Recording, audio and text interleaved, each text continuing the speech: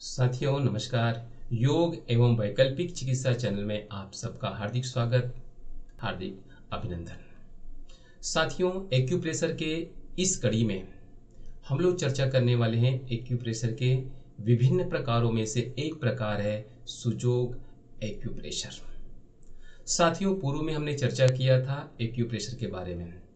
Acupressure acute और pressure दो शब्द से मिलकर बना हुआ है। जिसका अर्थ होता है एक्यू मीन्स सूक्ष्म बिंदु और प्रेशर का अर्थ होता है अप्लाई फोर्स, दबाव देना। शरीर के सूक्ष्म बिंदु पर दबाव देकर उपचार करने की विधा को हमने एक्यूप्रेशर के रूप में जाना था। एक्यूप्रेशर चेतना के संतुलन का विज्ञान है, ऊर्जा के संतुलन का विज्ञान है एक्यूप्रेशर और एक्यूप्रेशर की जहाँ तक उत्पत्ति के बारे हमने चर्चा किया था, उत्पत्ति अगर इतिहास को दृष्टिगत किया जाए तो आयुर्वेद ही उसके मूल में है, जिसे मर्म और मर्मदा बिंदुओं के बारे में, सूची वेदन के बारे में विस्तार से चर्चा है। इसके बारे में हमने पूर्व के दो कड़ियों में चर्चा की है। साथियों, अब हम लोग चर्चा करने वाले हैं सुजोग चिकित्सा पद्धति, क्योंकि सुजोग, ये शब्द सुनते ही सु और जोग, दो शब्द डिफरेंट डिफरेंट टाइप का आपको महसूस हो रहा है, लेकिन यदि वास्तविकता में देखा जाए, चूँकि ये भारतीय लैंग्वेज नहीं है, हिंदी का लैंग्वेज नहीं है, भाषा नहीं है चूँकि ये कोरियाई, साउथ कोरिया का लैंग्वेज है। और ये चिकित्सा पद्धति साउथ कोरिया से आया है। आप कहेंगे, साहब, ये तो बाहर विदेश की है, पर कोई दिक्कत नहीं है। पर जो उसकी जो मूल में है, उसका आधारभूत तत्व है, वो आयुर्वेद से उद्भूत है। आयुर्वेद के सिद्धांतों से अभिभूत है। इसका अध्ययन आयुर्वेद ग्रंथों से हुई है। तो निश्चित तौर से मानिए कि ये भारतीय मूल की चिकित्सा पद्धति कहीं न कहीं इसके सिद्धांत इसके महत्वपूर्ण तथ्य जो है, आयुर्वेद में ही सन्निहित है।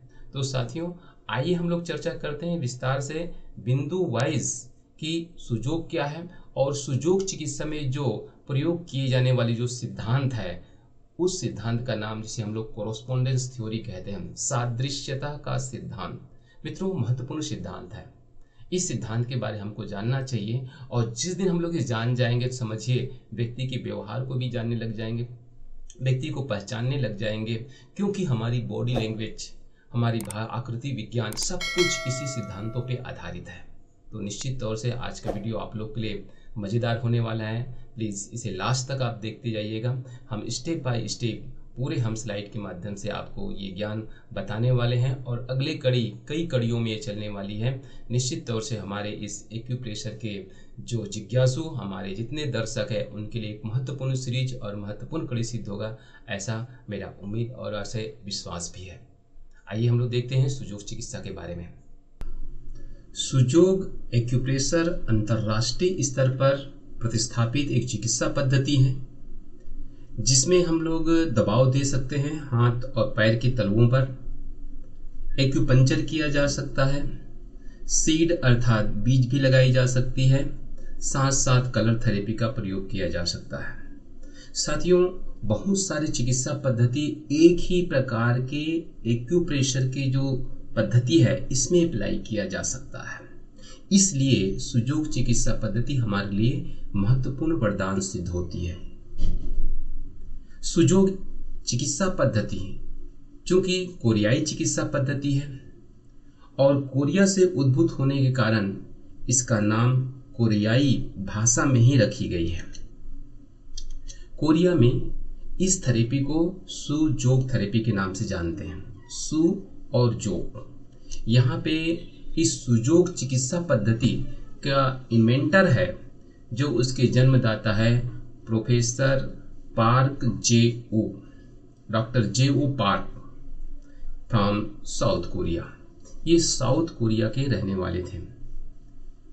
साउथ कोरिया, इसके बारे में कहा जा सकता है कि तन विदेशी मन भारती। भले ये बाहर जन्म लिए, लेकिन उनका चिंतन और विचारधारा सभी के सभी आयुर्वेद पर आधारित रहा है। साथियों, ये सुजोग चिकित्सा पद्धति है, दो शब्द से मिलकर बना हुआ है। सु और दूसरा जो शब्द है, वो है जो। यहाँ पर सु मीन्स सु का अर्थ होता है पाम। पाम मीन्स हाथ की हथेली। हाथ की हथेली जो आप देख पा रहे हैं, आप अपने हाथ की हथेली को देख लीजिए। और दूसरा है जोक। जोग का अर्थ होता है फीट। फीट का मतलब पैर का तलुआ पैर का तलुआ मतलब मीन्स हाथ की हथेली और पैर का तलुआ इन दोनों सादृश्यों पर उपचार दी जाती है।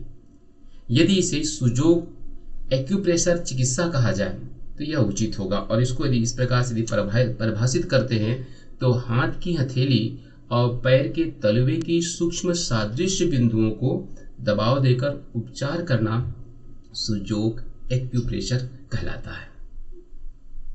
तो सुजोग एक्यूप्रेशर में हाथ की हथेली और पैर के तलवे के सादृश्य का प्रयोग किया जाता है।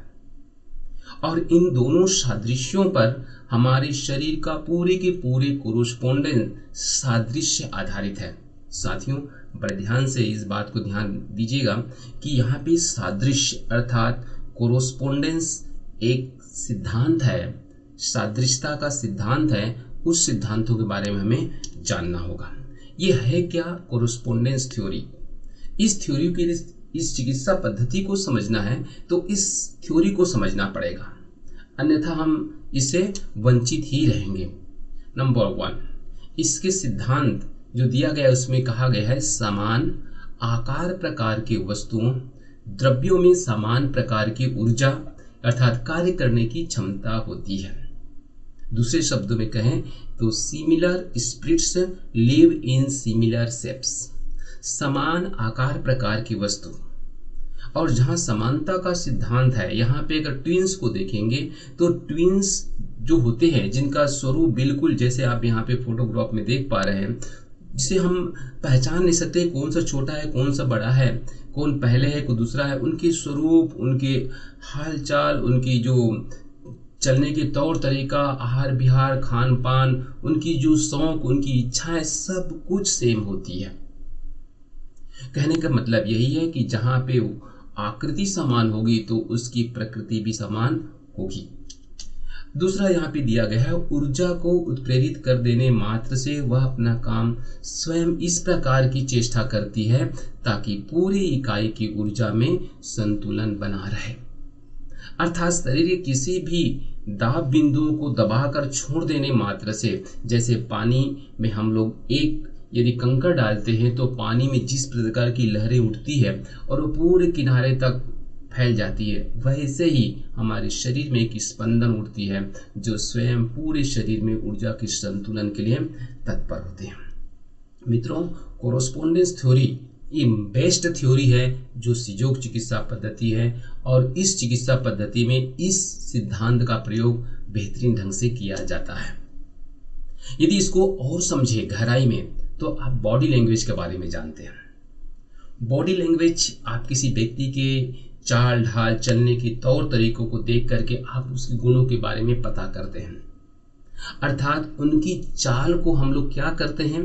अगर बॉडी लैंग्वेज के बारे में आपको इतने ज्ञान हो या आप कहीं अध्ययन कीजिएगा तो आपको पता चलेगा कि इनके जो सारे के सारे तकनीकी और सादृश्यता अर्थात कोरोस्पोंडेंस थ्योरी पे आधारित है। अर्थात उनकी चाल की तरीका कैसे है? चलता कैसे है?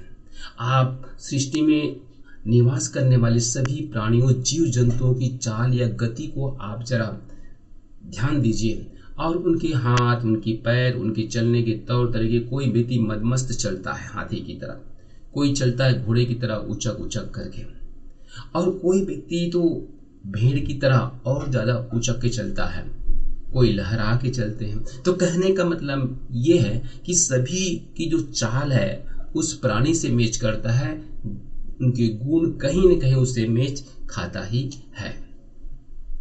यदि आकृति विज्ञान के बारे में बात करें, आप देखिए यहाँ पे तोते। आप तोते की नाक को देखिए और इस जो इंसान यहाँ पे जिसका फोटोग्राफ हम दिखा रहे हैं, दोनों में तुलना कीजिए। इसका मतलब ये कतई नहीं है कि पूरे के पूरे तोते ही इंसान हैं, लेकिन हाँ तोते की जो एक क्वालिटी उसके अंदर में वो क्वालिटी निश्चित तौर से इस व्यक्ति के अंदर में होनी चाहिए। तो क्या हमेशा इसका प्रकृति वैसी होगी? नहीं, प्रकृति वैसा नहीं होगा। एक निश्चित समय पे अपना जो वास्तविक स्वरूप है, जो अपना गुण है, वो समाज के सामने रखता है। अर्थात आकृति व्यक्ति के प्रकृति को निश्चित तौर से प्रभावित करता है। यहाँ आप इसको देख लीजिए। निश्चित तौर से जो जो हमारा चेहरा है, हमारी बनावट है, कहा गया ना, मुखड़ा व्यक्ति के, हमारी जो चेहरा है, व्यक्ति के आंतरिक प्रकृति का आईना है, दर्पण है। तो हमारा जो मुखौटा, हमारा जो चेहरा है, चाहे कितने भी छुपाने का प्रयास कीजिए, वो सामने आता है। तो निश्चित तौर से आप व्यक्ति के चेहरों को देख करके किसी प्राणियों से मिलाइए आकृति विज्ञान तो यही, आकृति विज्ञान का सिद्धांत तो यहीं पे, इसी सिद्धांतों पे आधारित है। आप मैच कीजिए। अपना भी और अपने आसपास के व्यक्तियों का भी स्वरूप को मैच करके देख सकते हैं। और जहाँ कहीं मैच खाता है तो निश्चित तौर से हमें समझना चाहिए कि उसके अंदर क्वालिटी है। आप इसको देखिए। किसी व्यक्ति की आँख बिल्ली की तरह होती है।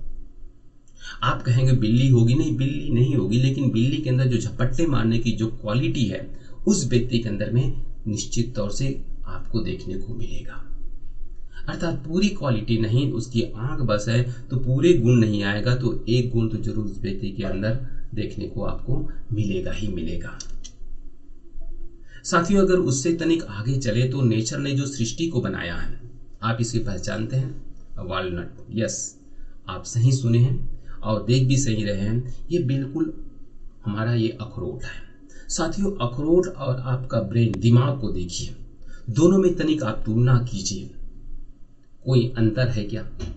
आप इसके कवर को देखने का प्रयास कीजिए, जैसे हमारा ब्रेन के ऊपर जो कवर हार्ड होता है, कठोर होता है, वैसे ही हमारा जो मस्तिष्क है उसके ऊपर और ये वॉलनट के ऊपर जो चढ़ा हुआ कवर कितना हार्ड होता है।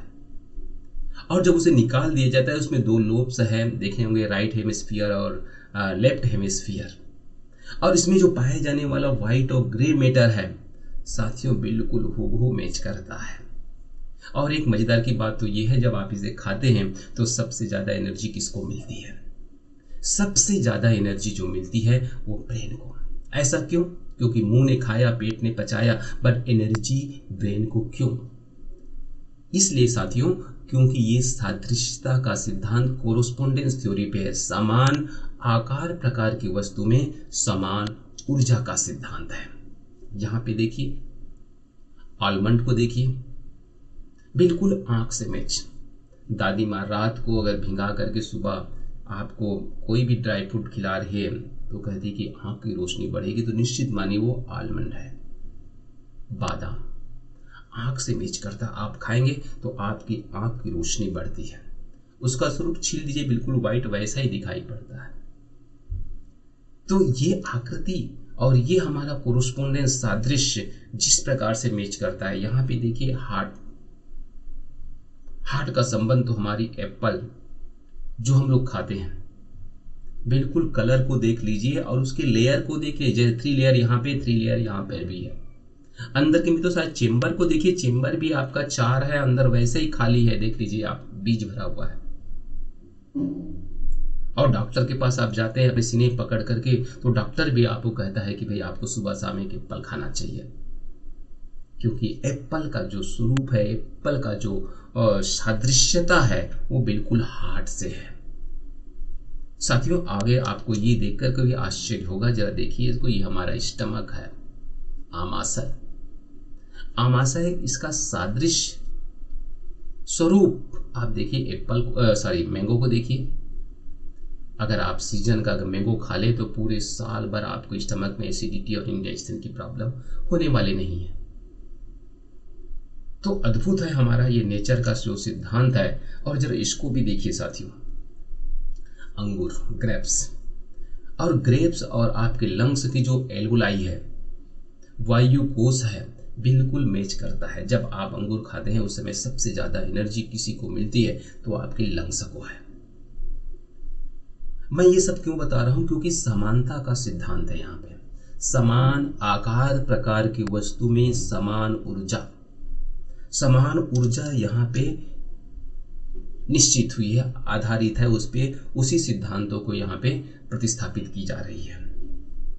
अब हाथ की हथेली और पैर के तलवे को जरा गौर से देखिए। क्या इसमें कहीं हमारी बॉडी का स्ट्रक्चर दिखाई पड़ रही है?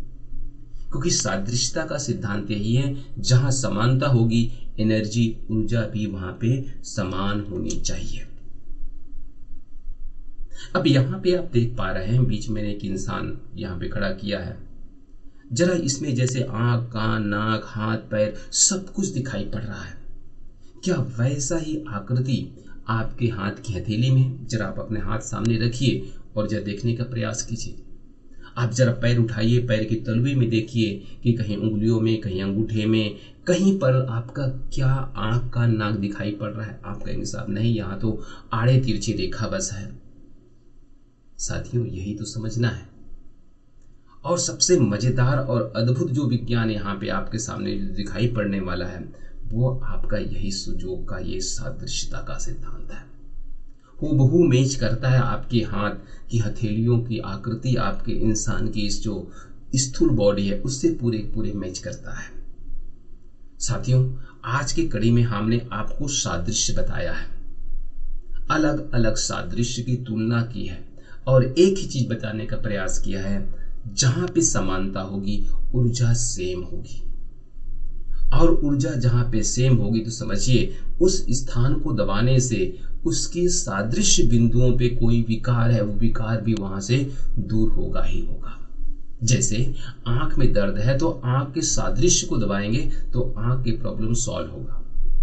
इसके बारे में हम अगली कड़ी में चर्चा करेंगे। आज हम आपको पूरी सादृश्यता, आप दो बार, तीन बार इस वीडियो को रिपीट कीजिए और देखिए, समझने का प्रयास कीजिए, मैं क्या समझाने का प्रयास किया हूँ। कोरोस्पोंडेंस चाहिए, सादृश्य चाहिए। और इस सादृश्यता जब समझ आ जाएगी तो आपको सब कुछ समझ आता चला जाएगा। आप देखते रहिए। नेक्स्ट हम कड़ी में आपको पूरे एक एक पॉइंट आपकी आँख, हाथ, पैर कहाँ कहाँ पे बनेगा, पूरे विथ प्रैक्टिकल आपको दिखाने वाले हैं। उम्मीद है आपको अच्छी लगी होगी तो आप इसे लाइक सब्सक्राइब कीजिए और अगली कड़ी में हम पुनः फिर से आपको सुजोग की पूरी कोरस्पोंडेंस हाथ की हथेली में बताने वाले हैं स्टेप बाय स्टेप आपने इसे ध्यान से देखा। थैंक्स फॉर वॉचिंग धन्यवाद। प्रणाम।